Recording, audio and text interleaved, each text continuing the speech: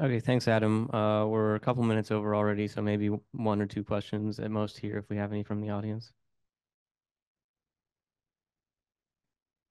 I have a question actually. So, I mean, it's great to see the march forward here with UHS and the public data releases and so forth. What's the outlook for the future with like Euclid, especially being in the picture? I mean, does the Euclid just come in and totally crash the party, or do you keep going, or? Yeah, it what? depends. So Euclid is not going to have the same amount of coverage. Of course, it's got a large field of view, but I need to I need to know more about um, what areas of the sky Euclid's covering. And Sarah looks like she took off already. So uh, yeah, I don't know enough about the Euclid survey area, but I think it's there's still relevance here because Euclid's not going to be uh, as big.